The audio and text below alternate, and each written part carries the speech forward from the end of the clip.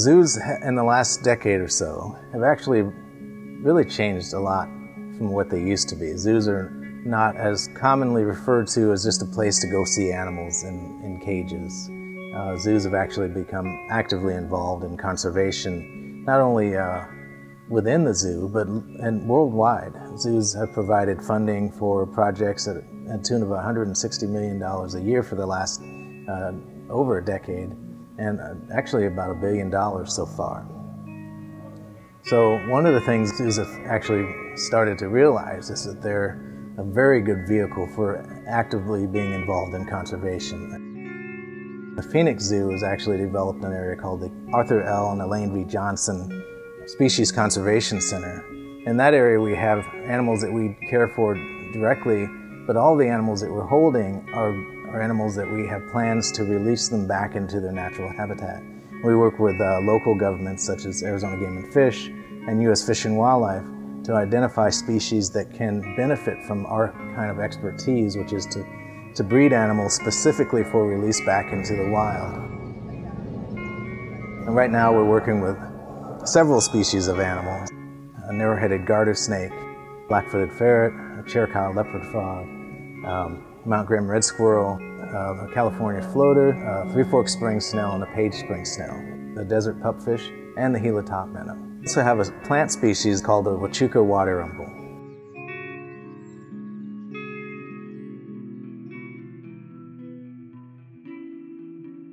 Narrow-headed garter snakes uh, were once a snake that was readily found in the 1980s, but due to introduced species such as crayfish and bullfrogs, as well as diverted waterways, they are now listed as threatened as of last July.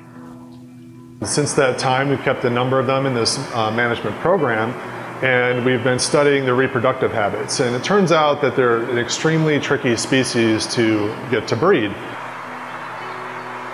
we had to kind of change up the way that you normally reproduce snakes and put them more in a natural environment. So we built an outdoor enclosure. Through this natural environment, they're exposed to males or females rather than artificially putting them together. This is our outdoor narrow-headed garter snake enclosure. Um, it's basically a little slice of what their habitat's going to look like in the wild. These are a high elevation snake species, so they prefer colder water. We have some native plants that they would encounter as well as willow branches, which is what the, the snake uses to hunt native fish underwater. The first ever uh, birthing event of narrow-headed garter snakes was here in our outdoor enclosure in 2014. What we're doing here today is um, at the Phoenix Zoo, we've been raising um, an egg mass of the Chiricahua leopard frog tadpoles and we've grown them there until they've metamorphed into um, juvenile frogs and we've come here to this site um, to release them back into the wild. So when we pack them up to transport them from the zoo to the wild, we use these containers. Um, we stick in some water with a wet paper towel on the bottom and we put around 10 to 12 in a container and then we just pack them up with ice to keep them nice and cool for the journey so they don't get too warm, and then head them out in the trucks and bring them to the site. This is their pond that we are releasing them into.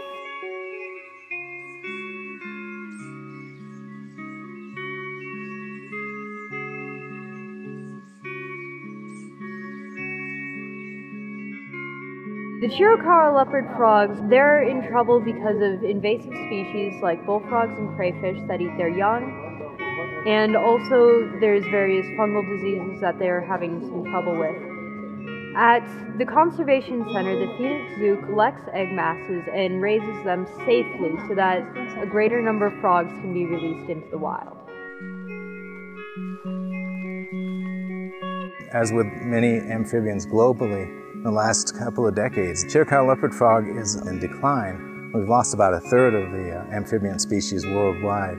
So it's important, uh, head starting program actually when we bring in an egg mass, instead of only 5% of that egg mass reaching adulthood, uh, we can get 80% of those uh, tadpoles to adulthood. And then since we have them in hand, uh, we can work with game and fish and, and identify ideal places to release that group of frogs into where they have the best chance to survive. So that's what we did today. We put uh, 344 frogs into our pond here on Forest Service.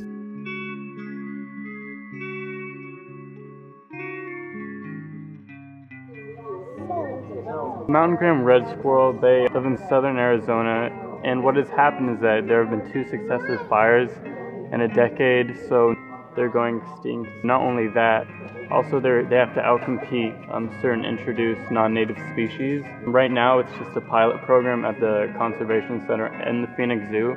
Again, trying to breed them, be able to re reintroduce them back into the wild.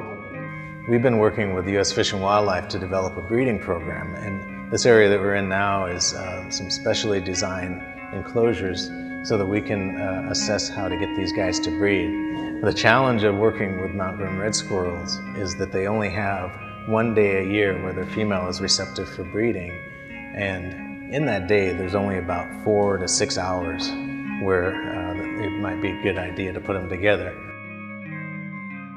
What we've developed here is a way to look at these guys across the fence to determine whether or not they're actually reproductively ready. These two enclosures represent two separate territories of Mount Graham red squirrel. And what we're able to do with this arrangement is we can join these two together and then uh, we can uh, let one animal on either side and they'll still be separated by this fence in the middle until we see the kind of behavior that suggests that they're ready to breed. And then we can just lift this and they're actually ready to go together. And hopefully we get breeding when that happens.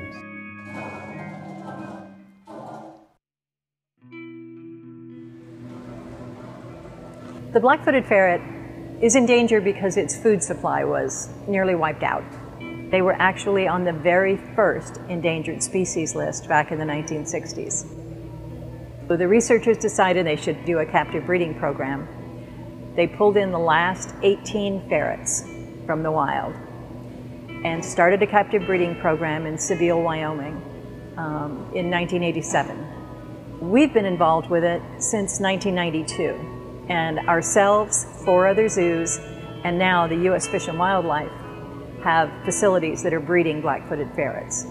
So it's a very exciting program we've been committed to it for a, a very long time and have here produced almost 500 ferrets, many of whom we know have been released right here in Arizona.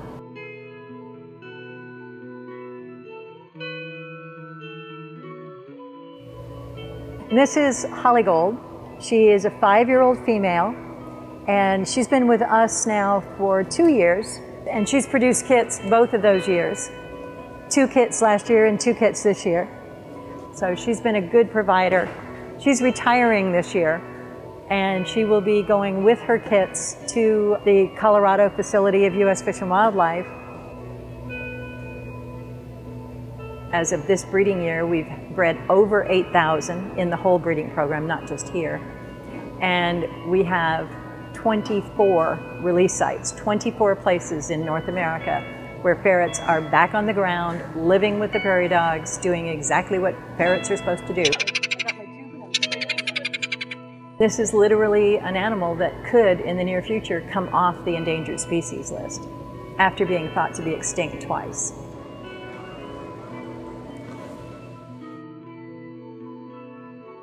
We believe it's, it's very important to communicate to young people an understanding of what's happening with the ecology and, and understanding conservation. The Zoo Teen Conservation Team is a special section of the Zoo Teen program at the Phoenix Zoo. And it's just a, it's an outreach program where teens interested in conservation can learn more and be more active in the Conservation Center at the zoo. What I like most about being a zoo teen and the conservation team is that we really get connected with the people who work here and we get to learn hands-on what conservation specialists really do. I've had the opportunity to do fish surveys where we go throughout the zoo and survey the, of certain kind of fish throughout the zoo in, the, in their ponds. And we've done projects outside the zoo where we've gone and surveyed other animals. The conservation team, they work with black-footed ferrets, they work with the Mount Graham red squirrel, with the narrow-headed garter snake, they work with Arizona species in particular. I've always cared about the natural environment and I want to make sure that it's still there several years down the line. But I hope that as part of the Zoo Team Conservation team, I'll be able to make a greater impact. There's so many things that are going on with species conservation or conservation in general, and it's actually difficult for people to, to understand what it is they can do to make a difference. And one of the things that is easy to do is just to get involved and learn more about the species locally. One of the things that we do at the Conservation Center is we work with local species and we actually provide information about the animals in Arizona that need conservation. But in doing that, we provide people information so that they are empowered and to make decisions when there's someone that says we, we need to draw more water from a particular stream. They could say, no, the Chiricahua leopard frog lives there. So the more people realize uh, what it takes for an animal to survive, we think the more that they'll be compelled to get involved in, in helping save that species.